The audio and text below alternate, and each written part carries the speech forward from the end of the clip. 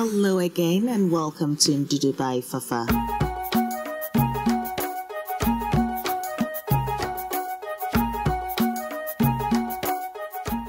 So today on the menu we do have the fresh fufu in a pot without any pounding. So you can enjoy fufu without the hassle.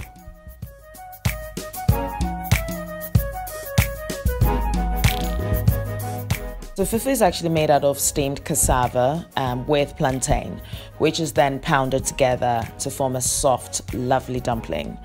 This is usually served with either mutton and light soup, which is a spicy tomato-based soup, or ajidechi in my local dialect, um, which means peanut butter soup or nkatenkwang, or you know the light soup with chicken. It's quite varied. You know you can use lamb or your palm nut soup as well. Now, this um, recipe has actually been featured on my cookery show Ndudu by Fafa with ABN TV on Sky 235, so do check it out. Okay, so this fufu recipe is actually inspired by my auntie actually gifting me some plantain and cassava. That's I think about a year and a half or two ago. And I was like, okay, I live in the UK and I don't have a pestle and mortar because usually the traditional way is to pound it till it's soft and stuff. So how can I do it? And I thought about it and I was like, okay, you know, we use the fufu flour to make our fufu. Um, and I was like, I can mimic that by using the wet ingredients. So it was an experiment that actually worked. And I've never looked back. So I always have my fufu just within about, what, 10, 15 minutes rather than the 45 minutes to an hour. I hope you do enjoy this episode. Thank you. And Happy New Year, by the way. So for the ingredients, you need one large um, unripened plantain, which is a green one, and some cassava, half a cassava. Peel the cassava and de-string it. There's a string in the middle there.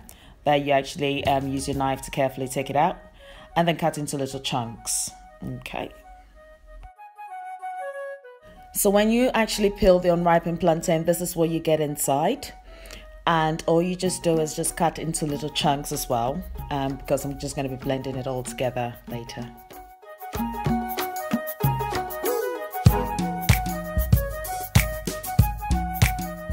So place the um, cassava chunks and the plantain chunks into a blender. Now it's very important that you do invest in a very good blender, either NutriBullet or the Vitamix.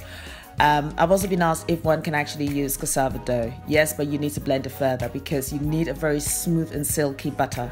That's very important so that when you actually um, make the fufu, you have a smooth and soft fufu. So it is important.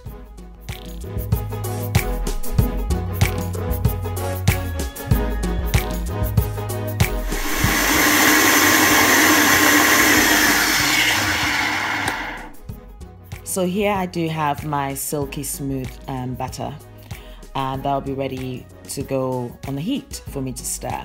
Now you would notice that it's a little bit thicker than usual, but it doesn't matter. You can add a bit of water to it if you wish. Um, but you know, some people like their fufu a little bit firm and others like it soft. So when you start it this way, it means that you can control the texture in the end.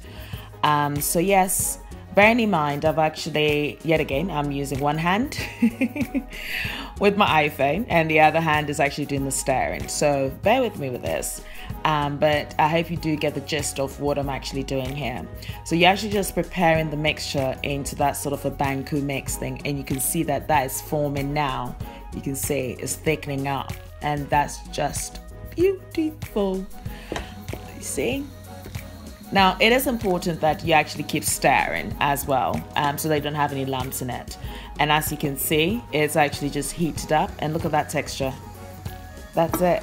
And at this stage, it looks like it's cooked. It's not cooked still um, because the cassava and the plantain will be raw. So I need to steam it as well. This has been cooking for about five to six minutes and I'm just going to add about 200 milliliters of water and I'm going to steam this. So I just turn it around a bit and I'll just cover it and steam it for about 10 minutes. I mean, it looks like it's bubbling, but I'm going to lower the heat and cover it with a lid and um, steam it further. So I'm checking it now and it's bubbling perfectly. Um, this has been bubbling for six minutes now. And I'll just turn it a little bit just to make sure it's not catching at the bottom. And yeah, look at that texture. That's just beautiful.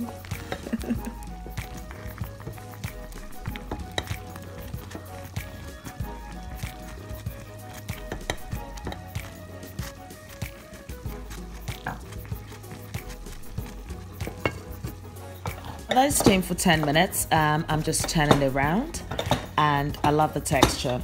I mean, at this stage, if you want to softer, you can add a little bit more water, but I think it's fine. And this is just stunning. No wonder I do have a very good bicep with all this twisting and turning. Yay! so fufu is ready now. I'll just add a little bit of water and then it will be easier for me to transfer it from a saucepan to a bowl. Now, don't be alarmed. The texture the stage um, will be a little bit softer and hot, but you need to cool it down. Um, so you can see, and look at that texture. That's beautiful. Mm-hmm.